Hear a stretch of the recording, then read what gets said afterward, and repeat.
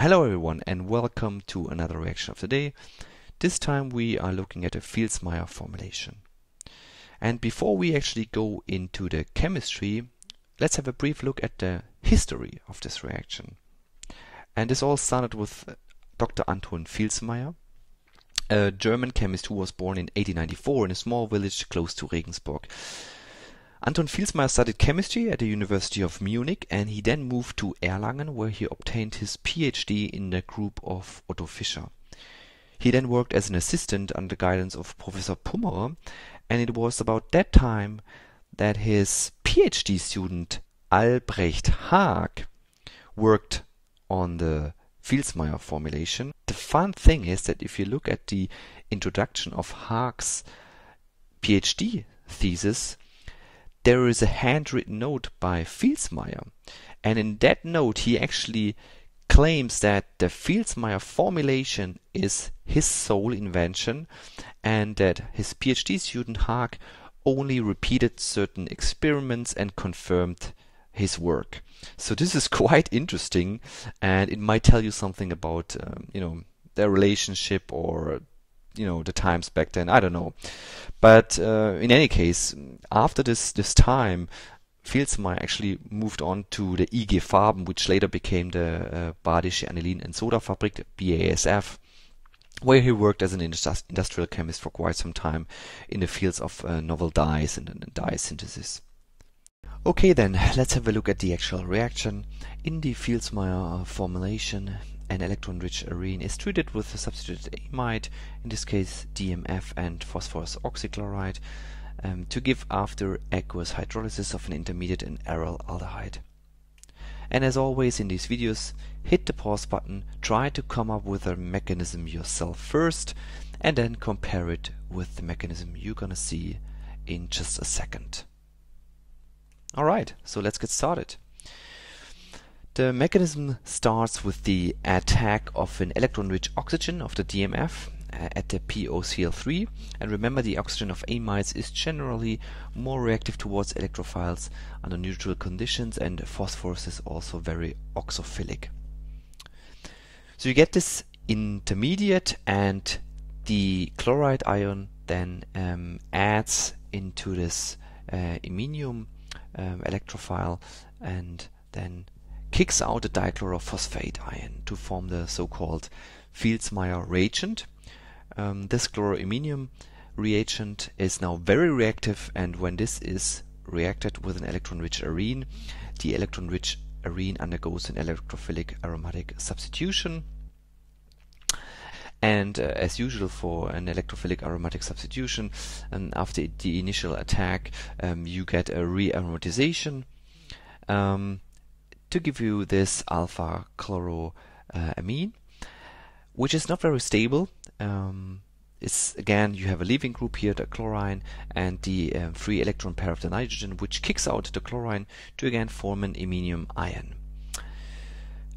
As indicated here in red, you have again an electrophilic carbon atom and in the presence of water, obviously this is um, very um, activated, very activated position, and the uh, lone pair of the oxygen would now attack at the um, electrophilic carbon atom. You have a species which is not very stable, and uh, after protonation of the nitrogen, um, you form an intermediate where um, dimethylamine can be eliminated again by the um, help of the uh, free lone pair on the oxygen.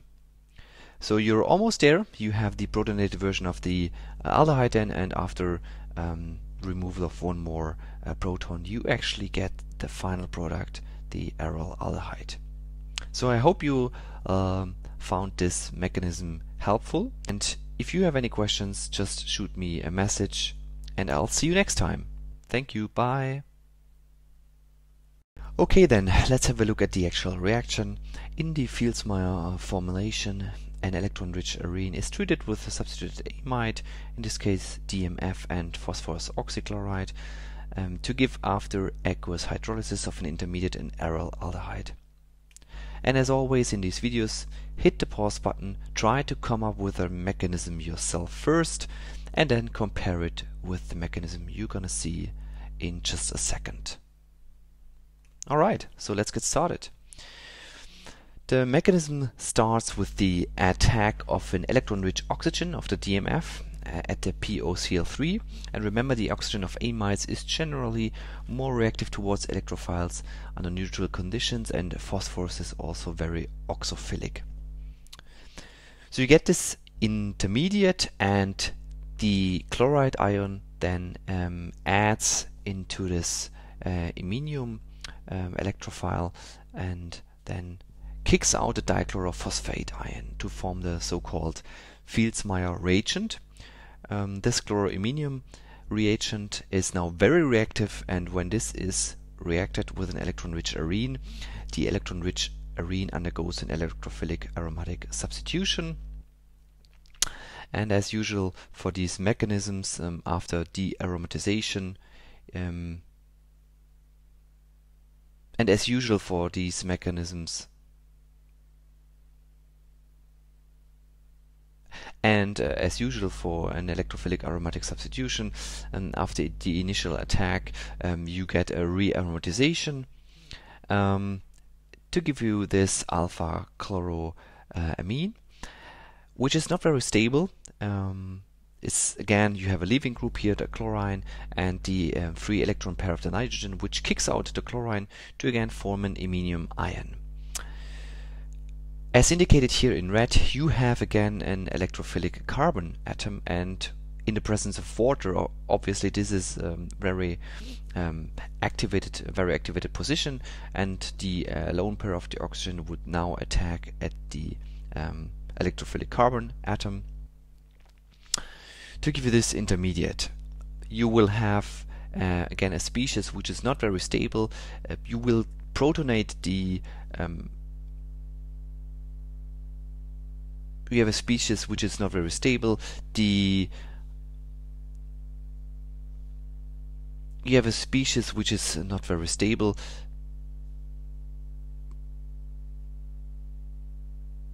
You have a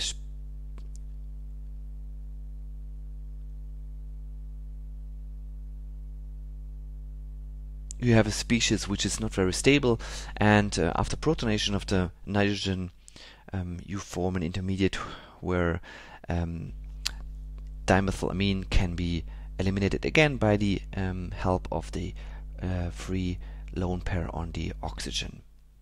So you're almost there. You have the protonated version of the uh, aldehyde then, and after um, removal of one more uh, proton, you actually get the final product, the aryl aldehyde. So I hope you um, found this mechanism helpful. Um, and if you have any questions, just shoot me a message and I'll see you next time. Thank you. Bye.